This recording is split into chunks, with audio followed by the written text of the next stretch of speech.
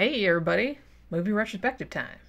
I have to say, I was not uh, all that surprised when this one won the Patreon poll because I seriously can't believe we haven't done. Well, shit, it's not that we haven't done Day of the Dead, which is one we're doing today, the George Romero movie. I don't think we've done Dawn of the Dead. Did we do Dawn of the Dead? I don't think we did that one either. or Night of the Living Dead. Guess you kind of took them for granted. That's kind of what I was thinking. And it's like, really, the reason that I decided, I know it's kind of like ass backwards that we're doing Day of the Dead first. Yeah. Um, but I guess I just thought of it because I saw that it was on Tubi when I was like scrolling through like horror movies. So I was like, oh shit, man. And that's the one that I haven't seen. Like, I've saw that the longest time ago. So I wanted to kind of give it a revisit. Uh, so we uh, watched it on Tubi last night, and today we're going to talk about it. So, Yeah. uh, yeah, Day of the Dead. This was actually the least favorite of the series for me. But we, Yeah. but watching it again, it's real watchable. It's real entertaining. It I is. liked it. Yeah. I liked it better than I remembered liking it. Me too. Yeah. Me too. I mean, it's been several years since I've seen it. Um, you know, obviously George Romero went on to make, you know, other movies. He made like Land of the Dead, he made uh, Diary of the Dead, um, and a few couple other ones, but it's like this one is kind of like the third of the first like unofficial trilogy. You know, Night of the Living Dead in 1968, and then you had like Dawn of the De- uh, Dawn of the Dead, and then Day of the Dead came out in 1985. And so I kind of feel like I can see where people are coming from with I mean this still has like pretty is really high ratings on like uh you know Rotten Tomatoes and all that other kind of stuff, but it's the lowest of the 3. And I can see why. This is a really different um it's different tonally Yeah. than Dawn of the Dead for sure because I feel like Dawn of the Dead was almost more comedic a little bit. Yeah. Like it had like a lot more comedy Well, sort of elements. Dawn of the Dead had some lighthearted mo- moments in it. Yeah. But it, it it had a lot of realism in it. It was re- Yeah. it had re- in the way of like say like The Walking Dead. Yeah. kind of has realism in it. This one is, in a way, not as serious, even though a bunch of fucking gore happens in it. Or it's not as realistic to me. I had a hard time with certain elements in the movie, but it still does. It was still fun to watch. So Yeah. It just did. That's how this is going to come at you. You can't take this one totally seriously. Well, I feel like any horror movie that came out in the 80s, it's Yeah. kind of hard. Well, especially because a lot of them were like tonally kind of. Um, and this one in particular, I can see where people criticize. It's like, oh, the acting is over the top. It's like everyone's just kind of screaming at each other the whole time. This is definitely, I think, the angriest of the Yeah. movies. And also maybe the bleakest. I think this is more similar tonally to the original Night of the Living Dead, which just like everybody's squabbling and um and Yeah. everything, than than it is to Dawn of the Dead. So I think that Dawn of the Dead is so revered and it's like that's easily like the favorite of everyone's you know out of those three. So i feel like people were expecting another movie like that and george romero made a kind of a different a little bit of a different take on it. You know what i'm saying? I guess it's open to interpretation. it is. To me, uh, there there were kind of elements of fucking the thing, the original John Carpenter. yeah with the isolation like everyone Yeah. kind of at each other's throats and shit kind of uh, military outpost, isolated, an outside threat. They don't trust each other. There's fucking internal battles going on. It had that aspect to it. Tonally, I kind of thought it was a little bit like Return of the Living Dead, but that's just me. That's just my. see i didn't get that at all That's i mean I return of the living dead was a straight up comedy I thought this was straight up comedy. You know, from i don't point- think it was meant to be Fr- though from the point of all right, I, this is the thing. Tom Savini is a fucking Vietnam veteran. He he knows military culture. All right. There's a lot about the soldiers in this movie that had me laughing because it's just not realistic. So from my point of view, it was comedy. You well, know, like I uh, said, I could. That's why a lot of people like kind of accuse a lot of the actors being like over the top. Yeah. It doesn't bother me as much because I feel like they don't really. I don't think they really specify in the timeline of the movie how long these people have been down there. But it seems like it's been a long time, and everyone's just kind of starting to lose their fucking minds. I mean, not the military guys Yeah. and the scientists are all kind of starting to crack. So I kind of feel like that might go a long way toward explaining like why everyone is acting like such a fucking lunatic Yeah. because mm. they've been down there such a long time. There no progress is being made. They can't contact anybody else. They think they're the only people left in the whole world and everyone's just starting to like lose their fucking Yeah, shit. it's just unclear. I mean, look, you Yeah. got you got a guy with a really bad Jamaican accent, another guy with a really, guy. with a really bad Irish accent. You got an army of fucking long-haired guys with mix and match uniforms from different periods. The weapons were all from different periods. Uh, you got fifty-something-year-old privates serving underneath fucking forty-year-old captains. You know, it's just that doesn't work that way. You know what I mean? Now, how, if they had somehow cleared up or cleaned up this story to where these aren't really soldiers, these are remnants of fucking survivors from the surface that are just found old equipment and became soldiers, called them. You don't. You don't know. You don't know. Yeah. They're definitely not soldiers as I knew them, and they're definitely not soldiers as Tom Savini would have known them. He was in the infantry like me. He was just from another era.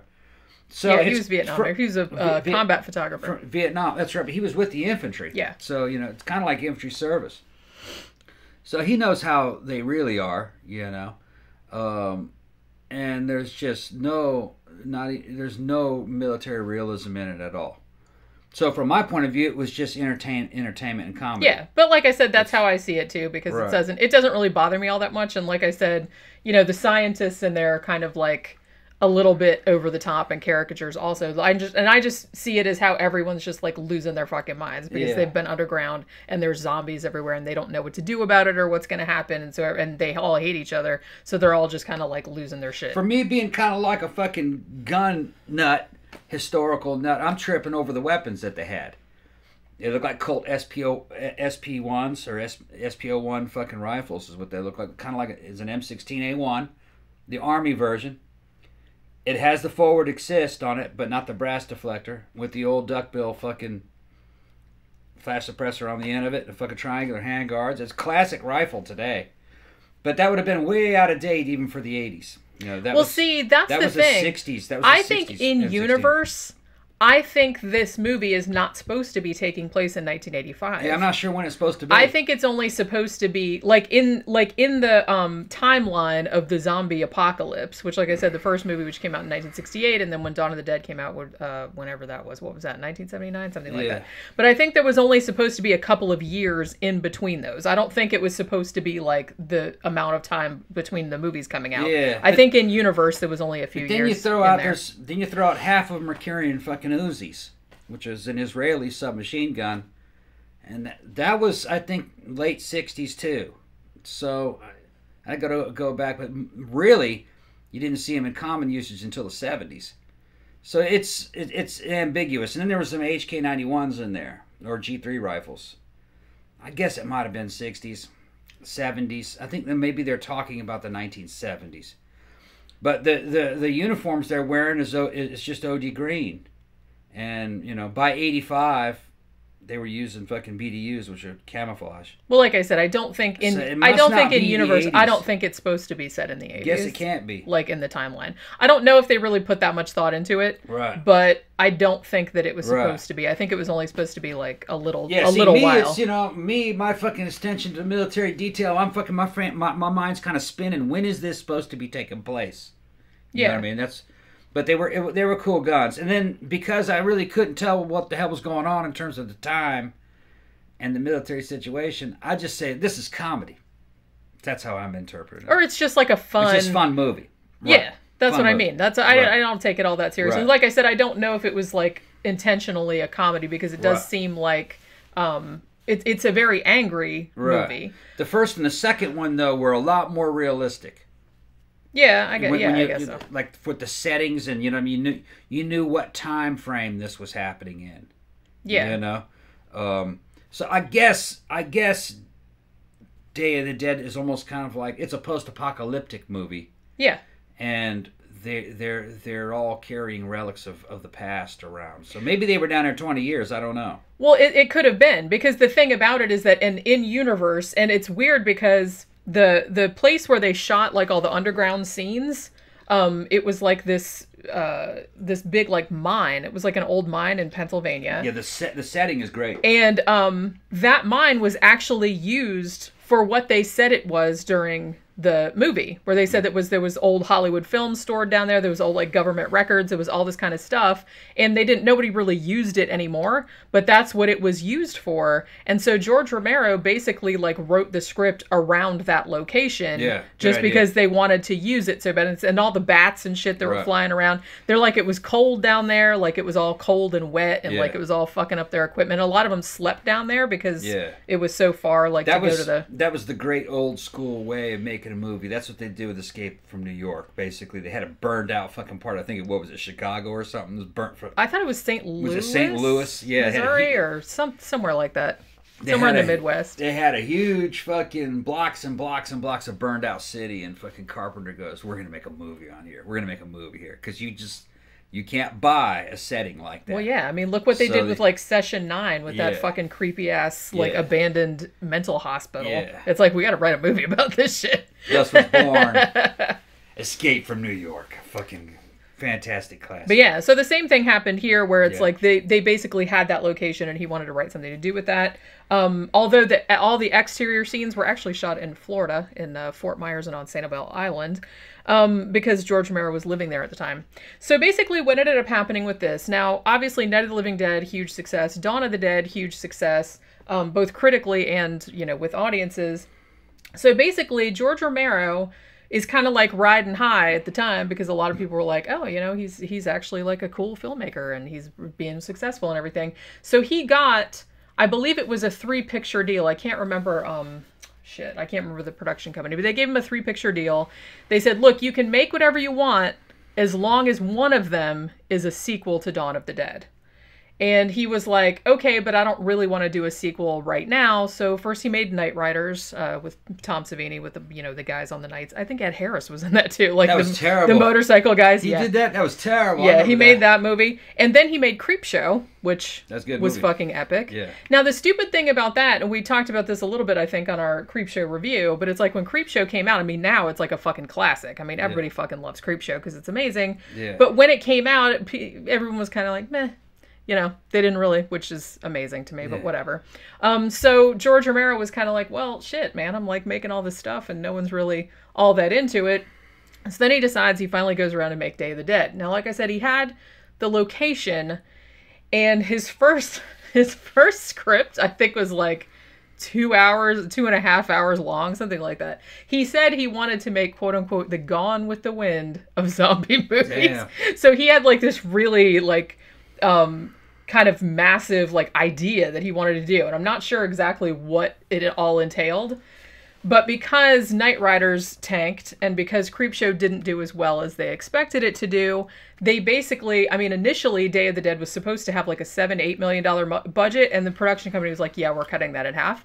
So he had to like pare down the script for like only three and a half million instead of he thought he was going to have like seven or eight million to make the shit. So he had to really like kind of take out a lot of shit that he wanted. So he basically had to like restructure the whole thing. But I mean, okay, so there's like a documentary and it's called The World's End. I think it came out in 2013. Um, I think it used to be on Shudder, but I didn't see it on there anymore. But you can watch it for free on YouTube because I just watched it earlier today. And George Romero basically said, "Yeah, you know, I did have to like cut down the script because you know the you know the budget got cut in half." But he's like, "The movie that you see is the movie that I wanted to make. It's not kind of like, oh, I didn't get to make the movie I wanted or blah blah blah." Although one thing that did happen was that the production company were like, because he was like, "Well, I want to make it." That was another reason that they cut the budget in half was because he wanted to say, "I I don't want it to be rated. I want it to be unrated so I can do all the gore and shit like that that I want." And they were like, um, yeah, okay, but we don't want you to do that. So it's like then, you know, they they have the budget too. So that was another reason why. Uh, but he was like, look, I, I want this movie to be like super over the top gory and shit like that. And I will say that is easily, easily the best thing about this movie is the gore is incredible. Yeah. The But there- fucking effects look fucking great. There, there's a lot more to this movie than gore, though. Oh Besides- yeah, but I'm saying that's my favorite part of it. for me, it was a couple of the characters really stood out. Well, first of all, I'm gonna say the setting is fucking fantastic. I didn't appreciate it on my first viewings of this. You know, now that I'm a little older and I, it's been a long time since I've seen it, I look at it now. It says, yeah, that fucking mine setting was fucking very believable. Kind of had the feeling of fucking being trapped in that damn Oh, yeah. underground thing. Well, because they were. Right. I mean, because the crew were living down there. There are three characters that really stand out in terms of good acting. The female scientist, what was her name? Oh yeah, um, Um, I don't Doc- know. Sarah, Doctor Sa- Sarah Bowman. Yeah, that's a that's a really well acted character. She did a great job on that. Fucking Doctor Frankenstein. Yeah, I That love guy. I love that guy. That guy did a oh, fucking knocked that performance out of the park. And seeing that character now, I got to check the dates, but that's got to be the prototype for the Herbert West character. That um, well, what what's his name? Fucking- Jeffrey Combs. Jeffrey Combs played because the His the, the, speech the cadence of his cadence voice is very similar. and also how he got mad. That is exactly Dr. Herbert West. now, see, I wonder if one ripped off the other, or if it was dates. just kind of like they're like, okay, act like a mad scientist, and that was just the know. first thing that came to those two guys' minds. I'm not really sure. I got a strange feeling. I'm pretty sure that Dawn of the uh, that Day of the Dead came out first. And I When did a- when did Re-Animator? See, I thought I they got- came out the same year. I thought they I came out the same weird year. feeling that Jeffrey Combs ripped that character off. Or That like I said, it might have been the other way around because I Gotta check. Or like I Gotcha. said, if they came out the same year, then it would be really hard to. Maybe they just influenced each other somehow. Maybe they knew each other. I'd like to fig- find that out. But but I'm watching that guy do that performance, and I'm like, that's Herbert West. Yeah, he seemed a lot like Herbert. That's West. Herbert West, and fucking, that's the same character played by two different guys. Yeah, And then the third character that knocks it out of the park is a dude that played fucking z- the zombie bug. Bub. That's a fucking great performance. Everybody was- loves Bob. It's all facial acting. He's a theater fucking- actor, that's why. he did a great job on that. That that, that was Academy Award winning acting. George right there. Romero said that too. He did? like on the documentary. I Absolutely, that's a, that that should have got a. I, I He fucking, said he should have got a fucking should have Oscar. got a, a fucking a, fucking Oscar for that shit. That is the, exactly his, his performance was perfect because dude's a zombie. It's the first time you're kind of like having a relationship with this zombie through the screen. You're like, yeah, I understand it. The eye fucking the the the eye acting and the facial expressions. yeah, amazing. and the fucking perfect, perfect, knocked it out of the park. Best zombie performance ever. Well, that's why I mean, and you can see now why Bub is on like so, Yeah. so much of the subsequent merchandising and stuff Yeah. like that because people really responded. And what's funny is that Bub ends up being a heroic fucking figure in the fucking movie. yeah, he does. He, you know, he he exceeded the sum of his parts. You know what I mean? He fucking avenged the death of his friend, who was a living person. Yeah. Yeah. He was very much like a Frankenstein's monster kind Yeah, of performance, I guess like you could say, where yeah. he's very like sympathetic, or even like King Kong or something like that, Right, like a sympathetic monster type He of didn't thing. choose to be a zombie. It just happened to him. Yeah, it's like he couldn't help it. Yeah, yeah. He can't help it. So I really liked. So I really liked, and I know that uh, Romero went went in that direction subsequently, like with Land of the Dead and stuff like that, where the zombies were starting to like be like somewhat intelligent and could actually start to plan and shit like that. So this was kind of the the genesis of that, and Bub was the first one because that was kind of Doctor Frankenstein's. Uh, his name was Doctor Logan, really, but everybody but called everybody him, was calling him everybody called him Frankenstein. Frankenstein during the movie. Yeah. But um, that was kind of his. Even though he was batshit insane, um, he had like the right idea. He had like good intentions. He was like, Yeah. "Look, we have to live on a planet with all these zombies, Yeah. and we can't kill them all because we don't have enough, you know, ammo. We don't. There's not enough of us. So it's like we have to make them docile. We have to Yeah. like train them to not eat us. You know what I'm saying? There's something tonally about that character. Not only did that character remind me of Herbert West, he also kind of reminded me of Blair in the thing. Yeah, yeah, yeah. I see Remember what you're saying. He was, yeah, He actually was. He ended up being batshit crazy yeah, in the end, or not really. It's just that I understand why he was doing what he was doing. yeah, It made sense, yeah. but it didn't make practical sense. You couldn't. You couldn't civilize all those fucking zombies.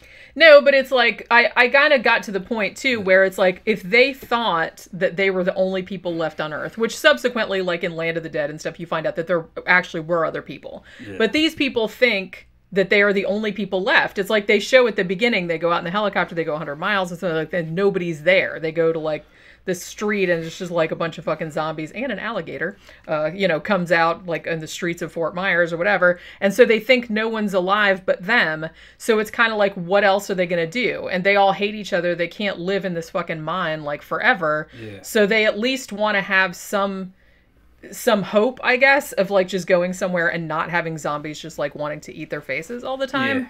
So it's like, what else?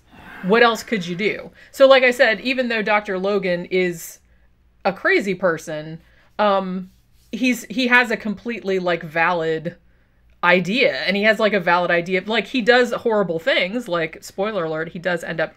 He doesn't kill the soldiers. Like later, he doesn't start, but but he does for sure like take their dead bodies and experiment on them without telling anybody. Yeah. Um, you know what I mean? So the like the the very famous uh, effect of like the guy who's just laying there on the table and like his whole head is gone and it's just like his little brain sticking up. yeah. Fun fact: Tom Savini and his crew called that gag the moose clit, just because of like what it looked like. I'm like, how do you know what a moose clit looks like? I'm just. I'm just not even gonna ask. But that's what they called The it. movie, the movie has aged pretty well. I liked it better now than I did back when I. I first did, I did too, and a lot of Um, people say that actually. It's over over the over time. It's kind of fucking aged in a certain way, like a fine wine. There are only really two things that I would have changed. They'd have been easy tweaks, and I think the movie would have fucking ended up benefiting from it. But you know, it's the director who's going to make this call. First thing I would have done is I would have toned down the soldiers and changed their tweaked their dialogue just a little bit Yeah, they're so very they shouty. so they weren't quite over the top. All right, I think they would have been better played a little more straight and a little more menacing. I think sometimes less is more when it comes to menacing. Yeah.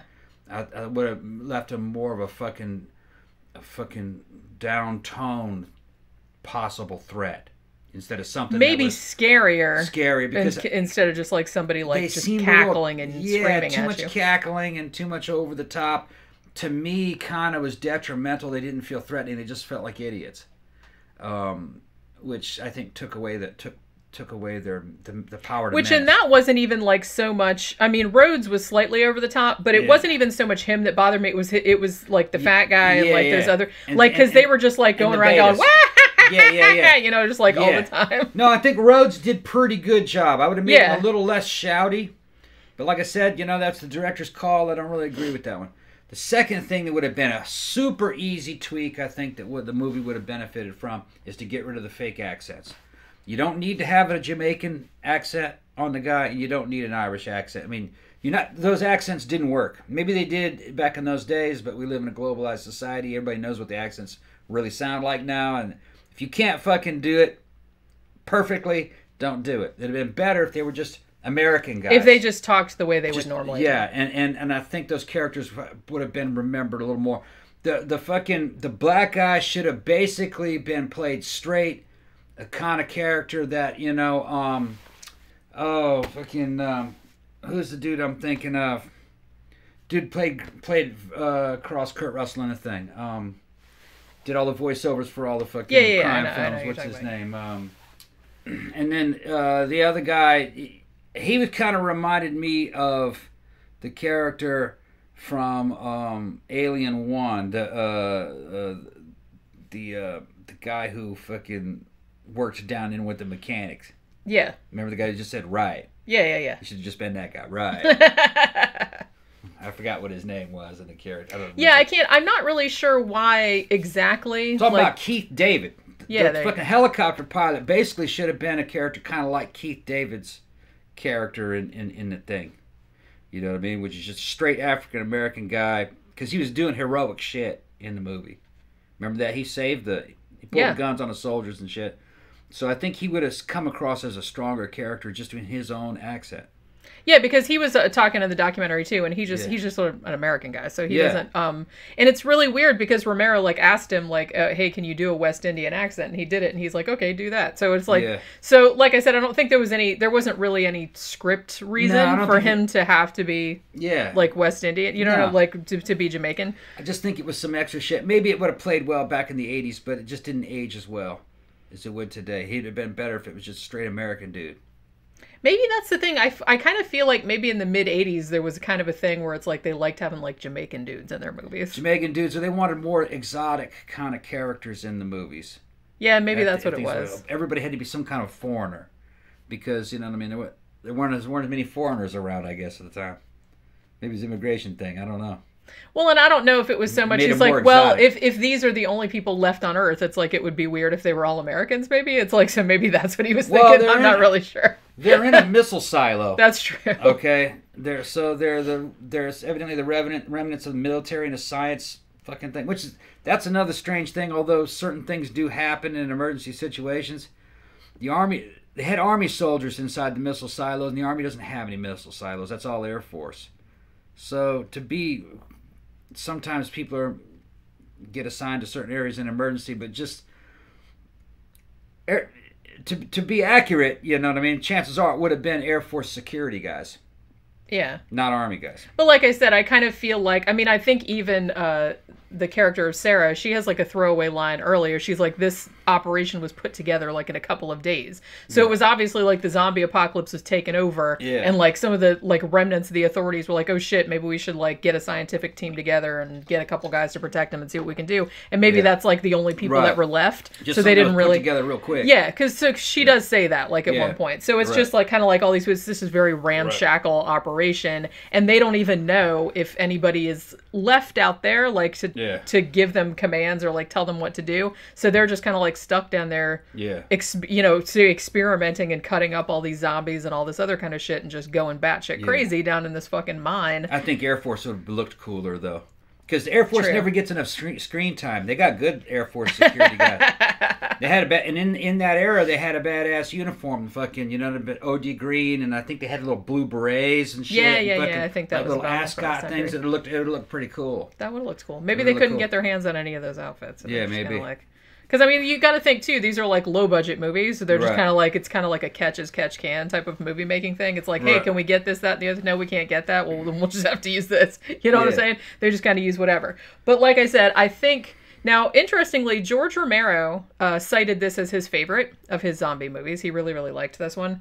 Um, and Tom Savini, I think, has long said that this is probably like his best work. And I, I don't know. I might have to agree with them on this one because some of the fucking gags in this, like I said, the the fucking the moose clit guy, like with just the brain Yeah. left and the and the body, like all the fucking uh you know people going over sideways and all their guts falling out, like fucking Rhodes getting torn in half and like all the guts and him going choke on it. You know Yeah. what I mean? That's so fucking great. Like the one guy getting his head torn off, one guy getting his eye popped out, the like zombie getting his fucking top of his head cut off with a shovel. It's just like oh, and the Miguel getting his fucking arm chopped off and then fucking cauterized. Yeah. It's like just the gore in this is just it's so so good. I mean, Yeah. and all of it is like really realistic. Yeah. Like I think it's like honestly, Dawn of the Dead, the gore was good in that too, but I like that they went with like a more realistic looking zombie uh, appliances and stuff because I feel like Dawn of the Dead, a lot of the zombies in that just kind of had like green makeup on their faces and it didn't look Yeah.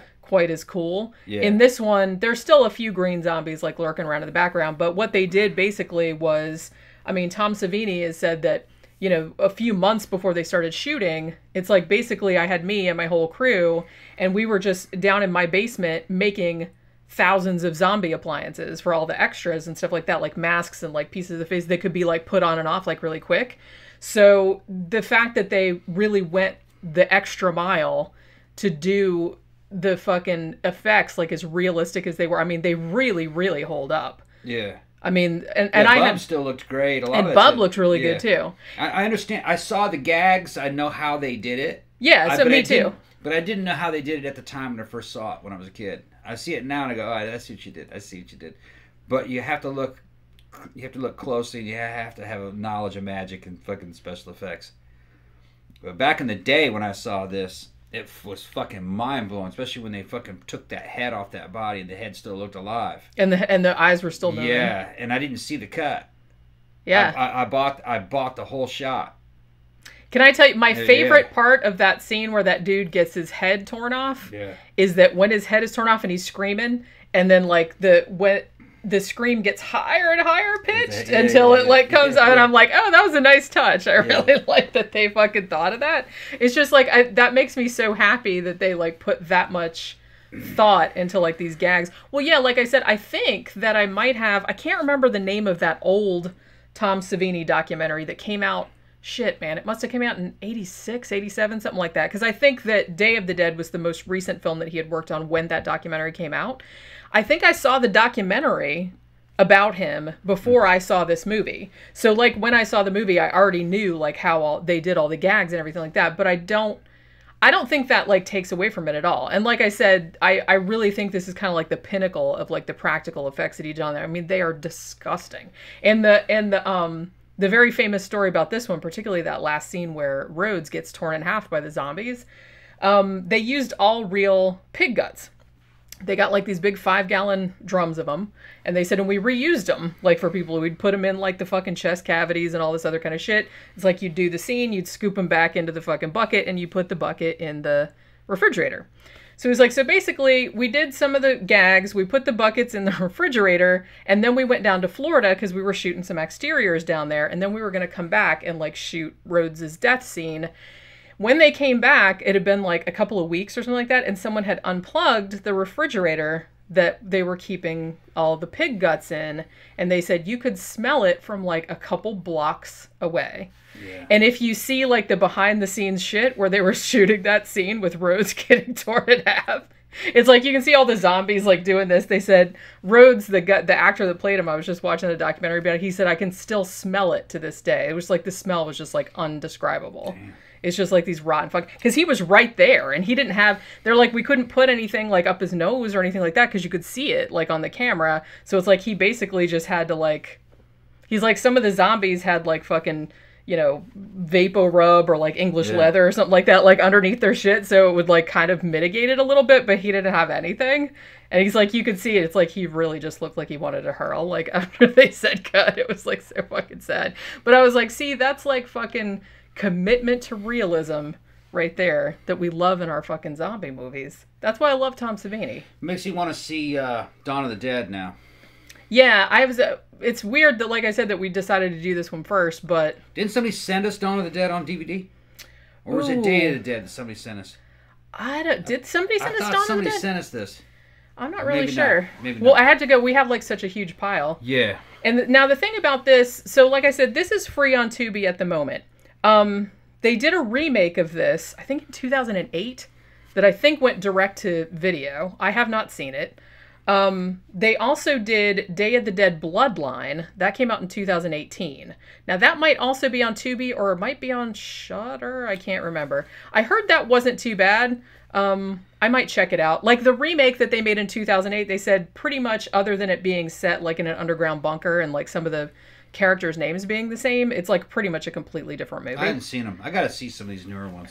Um, now I will say the remake of Dawn of the Dead, which they did in 2004, was actually pretty fucking good. I don't remember that one. I didn't think it was gonna be good, but it's not that much like the original, but it's just a really good like zombie movie in its own right. Have I seen that one? I doubt it.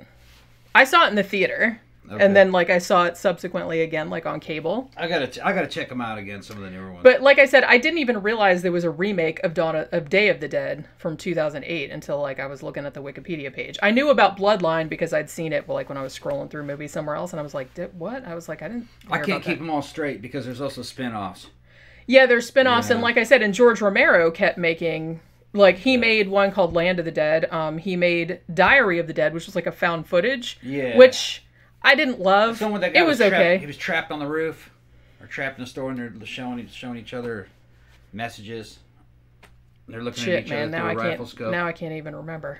Yeah, there's so there's so many fucking Land of the. Dead was the one with Dennis Hopper in it, Yeah, they had the big fucking bus with the big bi- bus and the big Yeah. building. John Leguizamo was in it. Yeah, Th- I liked that one actually. I haven't seen that one in forever. Yeah, I liked that one. I think the sadly though, I think a lot, and please uh, correct me if I'm wrong, but I thought most of the gore in that was CGI, which was kind of a bummer. Like especially because the practical effects in this one were so fucking good, Yeah. and I just It was another era, and the, the scope of these old movies was a lot smaller. You're only like in a couple locations, and you know what I mean. Uh, you didn't have to pack so much stuff into a movie like you do now. Now everything's CG. They're gonna show you all these different fucking locations. Something has to be happening every five seconds. yeah, It's because they can green screen you just anywhere. screen it you, you don't have to actually be there. yeah, it's is funny because sometimes that works when it's done real well. Other times, nah, you, you get the feeling of it doesn't feel real. Yeah. in a way. Like I said, These it's like older ones, they feel like it's really happening in a location, and it feels like you're actually seeing something that actually exists. yeah. And the scope of the story is a lot smaller, which I, which makes them a little more intimate in a certain way.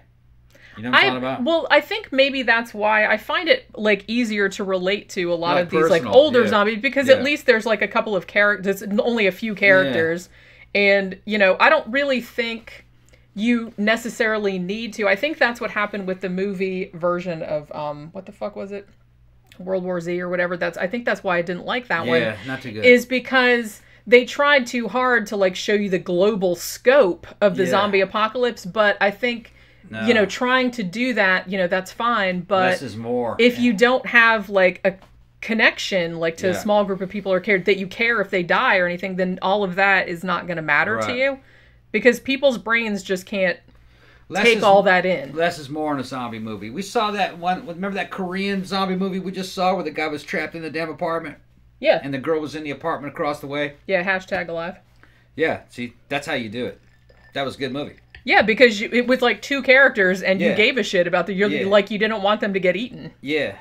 You, it's And- like, and- yeah, I get that everybody's zombies. I get Yeah. that. You don't gotta like show like, Yeah. look, there's zombies like taking over the whole city. I get that. No, you don't have to. You don't gotta show me. Yeah, no, small scale. I believe you. Small scale personal story of just a couple people. That's all you need. So I like. I mean, Day of the Dead. They did have the one cool scene near the beginning where you know it's like the beginning sequence where they go out in the helicopter and they go to the street. Like I said, they shot it in Fort Myers, Florida. Um, and there's just like nobody around. It's just garbage. And then they start yelling for people, and then like all the zombies start coming out. So I think that was like the first time you got to see like an abandoned city like in George Romero's zombie movies. And that was cool, but that's all you need. I mean, that's all you need. You just show one thing. It's like, look, everybody's dead, everybody's zombies. Let's get back into the like the character drama and the gore and watch Dr. Frankenstein cutting up zombie bodies and talking Yeah. to Bub and getting him to like fire guns and listen to a Walkman Yeah. you know so you know but yeah so day of the dead if you haven't seen it and you're if you really like gore you'll be into it because i really really like the the shit on this but the character drama is really good too like i said could have done with a little toning down not so much Rhodes, but like his sidekicks were Yeah, there's only two changes I would have made. There's only two changes I would have made, and that was the accents and the fucking tone of the fucking beta, Yeah. the, the, the supporting soldiers. But man, you know that's kind of modern. It- it- excuse me, That's kind of minor. yeah That doesn't make a big difference, and uh, the movie's enjoyable to watch. It, it's it's like like it's like an enjoyable shit show, basically. I mean, all of Romero's movies are kinda- enjoyable. I think that's kind of why people still remember him as like Yeah. king of the zombie movies nowadays. of got a post-apocalyptic feel to it. Yeah. It feels like the other ones, and you're like going, "Yeah, okay." and it's real like claustrophobic because they're all just like all these people just like sniping Yeah. at each other in this Yeah, little underground kind of It's shit. crazy implausible shit happens, but you don't care. You're like, yeah, okay. It's just you know, Well, a zombie a apocalypse is not movie, all yeah. that plausible, so it's like you Yeah. know you got to suspend your disbelief when you're Yeah. into like horror it's just fun. Yeah. It's a fun movie. That's what it's supposed to be. Yeah, exactly. All right, so that'll do it for our uh, discussion of George Romero's Day of the Dead, and uh, we'll see you on the next one. Bye.